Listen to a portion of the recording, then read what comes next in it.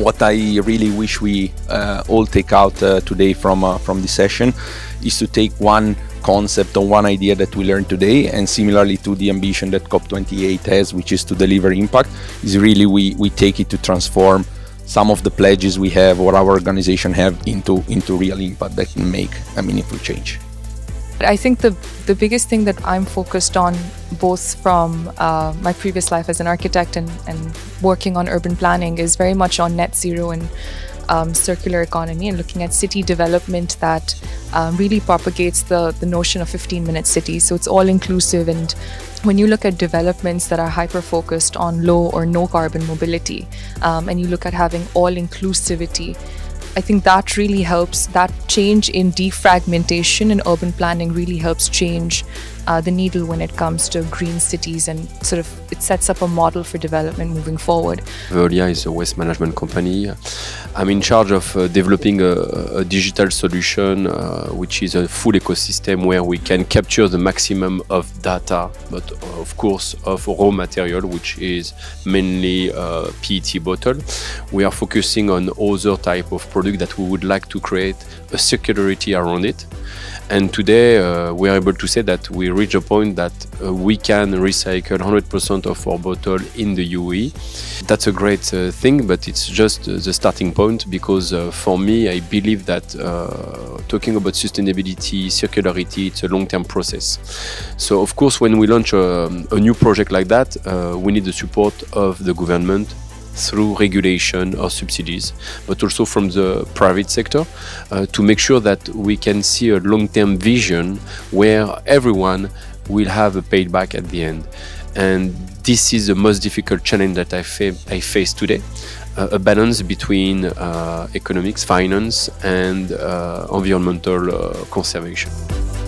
For me, uh, sensitivity need a commitment for all, all of us So regardless the the the the position that we have, sustainability need to be championed by every uh, every level of society. We cannot work in silo.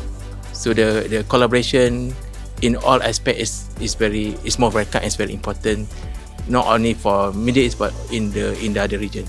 In my view, sustainability and decarbonization is a journey that involves a partnership between the public and the private sector. Um, the idea is to be ready for the future, whether that future involves physical threats um, such as consumer trends or uh, public policies and regulations. And throughout this journey, there's uh, different components that need to be considered.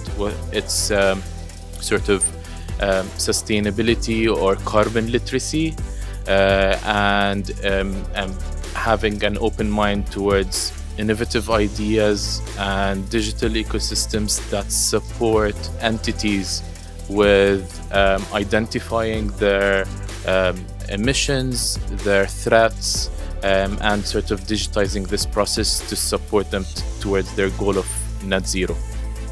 My key takeaway is that collaboration and partnership is absolutely key to accelerating our um, impact and driving climate action. Whether that is peer to peer learning, like we're doing today, um, private public um, engagement. I think another thing is, you know, we have a lot of the answers. We actually have a lot of the solutions and the tools. We just need to take action. For us, sustainability in Siemens is a culture which has been created from the top, and this is, has been enforced, and we leave this in Siemens in all our business aspects. And when we look to the solution, what the transportation industry need today, we have also to keep in mind what we discussed earlier. This is not only about innovation or growth, it's about a profitable growth. Because if the industry is not profitable, the growth is meaningless. And this, when we take an example, is what we do for our trains, for example, we don't only change the type of energy uh, from diesel to hydrogen, and we say this is a renewable energy and unlimited resources, but we also wisely use it. Um, I guess uh, one of the biggest focuses for me has been uh, climate change um, and environmental sustainability, and a huge focus on how we can make our supply chain more sustainable. If I could share, I guess, one message which um, engulfs the kind of mindset that an approach we're taking at Chalhoub Group is uh, to uh, keep acting as much as possible. Um, don't don't stop. Accelerate your uh, climate action, and don't necessarily wait for regulation and policy to back you up. Do as much as you can. We are in a region that is extremely um, uh, has uh, has a strong leadership, has a strong vision when it comes to sustainability. Uh, I guess it's a matter of time, and we can really expect change to happen quickly. As our tagline says, we believe in changing mindsets. Uh, we believe in education, in awareness, and also starting from youth. They have a very big role to play. We're putting a lot of pressure on them uh, to, you know, take and lead in the future with a, with a lot of challenges that await them. So I believe that it's a community effort. It's definitely a partnership between public and private sector, but we also need to think about individuals, how to mobilize them, how to grow together, work together, partner to reach some sort of impact. And I think that uh, my takeaway is that there is not a silver bullet. I mean, we need to work from many different fronts, and this is what we are doing at the agency. We work on innovation, on regulation, on partnerships, on knowledge, on science, and uh, we, we need uh, all these uh, together in order to uh, achieve sustainability. At Desert Board, we have successfully innovated um, a nature-based green building material and I'm proud to say that decarbonizing the construction industry is our mission and we're acting on it. I think humans then deliberately set out to destroy the planet. They were not aware, they're still not aware.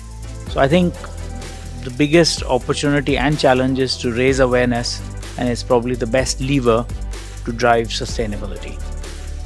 Just as sustainable development fundamentally teaches us that everything is in community, I think uh, continuing the conversations in this group is, is important and, and will continue to bear a lot of fruit. We know that to reach our targets in terms of sustainability, we're going to have to change the mindsets. But we also know that changing mindsets is going to take a lot of time, and we don't have that much time in front of us. So we really need regulations to accelerate their journey, and we shouldn't be afraid to take bold actions to get there.